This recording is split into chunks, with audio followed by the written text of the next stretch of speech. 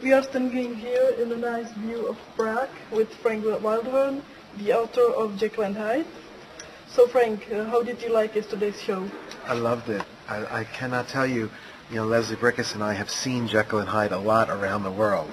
And we're always surprised by the productions because we let each area do their own production. We let each producer do their own production for whoever their audience is. So when we show up in a place, we don't always know what's going to happen.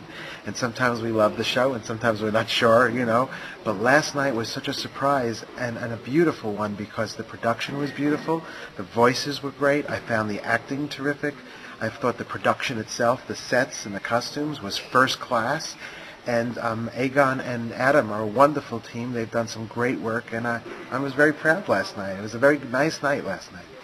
So you like the conception of Prague performance? I did, and I found some ideas that I have never seen before that I loved. I, I loved the big um, kind of, what, what was it, um, the magnifying glass in the lab. Yes. I thought that was terrific. I loved Dangerous Games and Lucy's Death. I thought that was very sexy, and uh, and I like when the show gets sexy like that. I thought uh, the guy who played Jekyll was great. I thought the girl who played Lucy Teresa? Uh, Teresa. She's a star.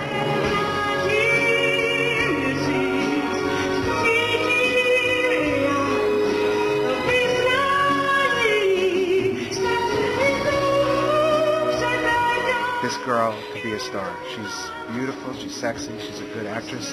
Um, I, I, I like the smoky quality of her voice. I really thought she had great presence. I thought the woman who played Emma last night, what's her name? It was Iveta Dubkova. Beautiful soprano. I love the way she did Once Upon a Dream. Very happy with that. Did you see big difference in costumes and scene between European and American versions? Yes, the answer is yes.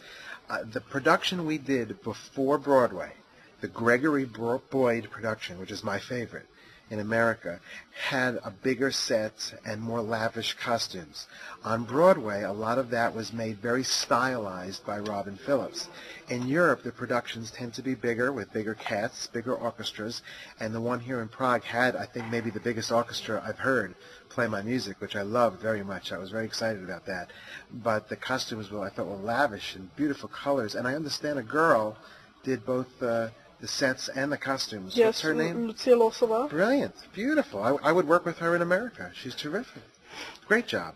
When you worked on a show with Leslie, who in your tandem was Jekyll and who was Hyde? Ah, I'm sure he's Jekyll and I'm Hyde. I'm sure. Is it usual that you come to a foreign premiere of Jekyll and Hyde in the no, shows? no. There's special ones with relationships that Leslie and I think are important. And don't forget, we're both busy and doing other shows, so it has to fit in the schedule. But I had heard such good things about Klaus about Egon and, and um, Adam, and I was really wanted to see what kind of work they had done because we've been talking about doing some new work together. So this one was important. I've been in Vienna, Cologne, Bremen, uh, Australia, Tokyo, uh, Madrid, Barcelona. There's a lot of Jekyll and Hydes, but those were the ones I've been to, I think, so far. And what's personally your favorite song of Jekyll and Hyde? Oh, that's like asking me what my child, which one I like better. It's very hard. Uh, someone like you means a lot to me because it means a lot to my life at a time in my life. Maybe from a melodic point of view, maybe a new life. Um, in his eyes. You know, different songs for different reasons. It's, a tough, it's very hard to just have one answer to that question. Do you personally have a song you consider to be your best you have ever written? Ah, the one I'm working on now. Are you personally a fan of theater music? Do you go in your free time to some Broadway shows? I do, but to tell you the truth, I am a composer, and I have worked in the classical field, and I have worked in the pop world, in television, in film, writing songs for different artists, always, and I work in the theater. I'm not just a theater guy. I come from, I'm a composer who is now working in the theater. Did you like visually the scene of transformation in this Prague's performance? Yes, I did. I, I found it not dissimilar to all the versions.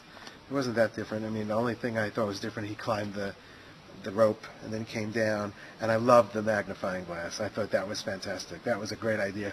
If it was still running in New York, I'd go back and steal that idea. Are you going to return to Prague? I hope so very much. In fact, today I met with Karl Gott, right? Yes, I know him. Okay. He's uh, one of our most famous singers. And we had a wonderful day together at the piano, and I think uh, there'll be some nice news about him and I coming out soon. We'll see what happens there. Um, it, was very, it was a very wonderful day I spent with him today, and uh, sharing music and new songs and things like that. And I'm talking to Egon and Adam very seriously about doing more work starting here in Prague, because I didn't know until last night what to expect. And now I see that the production values here, you have two great producers with those guys. Uh, the, the, like I said, the production values meaning the set, the lights, the costume, the orchestra, the musical direction was all first class. But more, more than that is the talent. You have wonderful talent here. Beautiful people working really hard, good actors, good singers, and I can see doing some wonderful theater here. So yes, I'd love to come back. Plus, look at this city. How can you not want to come back to this place? It's beautiful. Are you going to see today's performance? Yes, I am. Yes, because I know it's a different Jekyll tonight. So I'd like to see him very much. So then you can compare the both Jekylls. Sure, but you know what? I've seen so many Jekylls around the world now.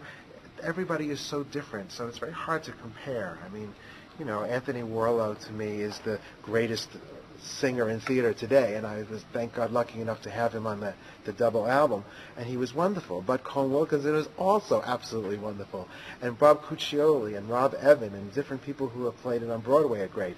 Thomas Borchert, who played it in Yes. Vienna, fantastic.